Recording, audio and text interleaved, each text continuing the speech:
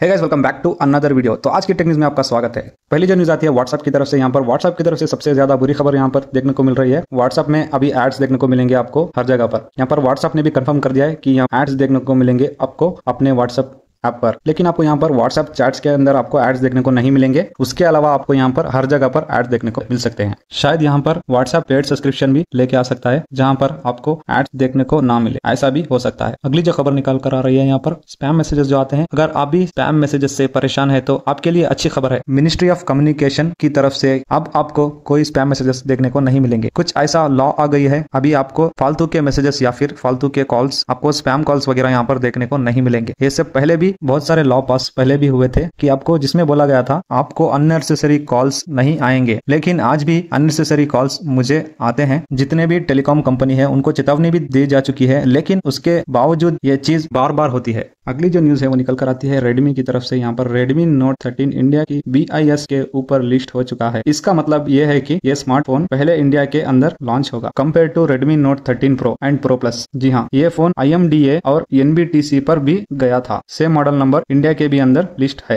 Redmi Note 13 से compare करे तो दोनों में खास फ़र्क नहीं है। ओवरऑल ठीक है फ़ोन रेडमी नोट 13 प्रो जो है, वो बहुत ही अच्छे स्मार्टफ़ोन है, क्योंकि अच्छी प्राइस पर है। देखते हैं रेडमी नोट 13 की कितनी जल्दी और किस प्राइस में देखने को मिलता है। कुछ दिनों में पता चल जाएगा। अगली न्यूज़ सैमसंग ने 50 मेगापिक्सल का जो सेंसर है, वो लॉन्च कर दिया यहाँ पर। आइसोसेल जीएन के सेंसर यहाँ पर कह सकते हो आप। डायनामिक रेंज यहाँ पर इंप्रूवमेंट देखने को मिल जाएँगे इस सेंसर में। आपको ड्यूल पिक्सल प्रो भी यहाँ पर देखने को मिल जाएगा और एच की टेक्नोलॉजी को उन्होंने यहाँ पर इंप्रूव कर दिया है, बहुत ही ज़्यादा अच्छी तरीके से। पर जो भी आपके बैकग्राउंड वगैरह यहाँ पर शो होती है कैमरे में, आपको उसमें ज़्यादा इंप्रूवमेंट देखने को मिल सकते हैं। इस बार जो सैमसंग की फोर्टीन बिट की टेक्नोलॉजी है, उस पर यहाँ पर बनाया है प्रोसेसर देखते हैं कि ये ये सेंसर जो है, किस फ़ोन में सबसे पहले आता है। नेक्स्ट न्यूज़ निकल कर आती है यहाँ पर आईक्यू की तरफ़ से। यहाँ पर आई क्यू और ट्वेल्व प्रो फाइनली लॉन्च हो गया है चाइना में। और इंडिया में अगले महीने में हमको ये फ़ोन देखने को मिल सकता है। आई क्यू और ट्वेल्व प्रो दोनों में Snapdragon eight Gen three processor होने वाला है। एक में फ्लैट डिस्प्ले देखने को मिल जाएगा आपको और दूसरे में आपको कर्व डिस्प्ले देखने को मिल जाएगा। बाकी कैमरा आपको दोनों में सेम देखने को मिल जाएगा। अगर बैटरी की बात करें तो यहाँ पर एक में आपको फाइव थाउज़ेंड की बैटरी देखने को मिल जाएगी और दूसरे में आपको फाइव थाउज़ेंड हंड्रेड की बैटरी देखने को मिल जाएगी। प्राइस की बात करें तो फोर्टी फाइव थाउज़ेंड से स्टार्ट होता है और उसके ऊपर और भी वेरियंट्स देखने को मिल जाते हैं। शायद आपको इंडिया में फिफ्टी थाउज़ेंड तक देखने को मिल सकता है और ये इंडिया का पहला Snapdragon eight Gen three processor का फ़ोन होने वाला है। देखते हैं इंडिया में कब तक लॉन्च हो जाएगा। अगली जो न्यूज़ है, वो निकल कर आती है वन प्लस की तरफ़ से। यहाँ पर जो वन प्लस का फ़ोन जो लॉन्च हुआ था वन प्लस फोल्ड या फिर वन प्लस ओपन के नाम से जो फ़ोन लॉन्च हुआ था, उसमें यहाँ पर आपको लंबी सी लकीर देखने को मिल रही है। जैसे कि यहाँ पे फ़ोटोज़ में आप देख सकते हो। पे ग्रीन लाइन का भी इशू आ सकता है इस फ़ोन में। काफ़ी बुरी खबर है वन प्लस की तरफ़ से। लेकिन ओवरऑल जो फ़ोन है अच्छा है। लेकिन ये क्या हो गया? नया नया फ़ोन आया था। उसमें भी ये जो लाइन का इशू आ रहा है। अगली जो न्यूज़ निकल कर आ रही है, वो सैमसंग की तरफ़ से। यहाँ पर सैमसंग एस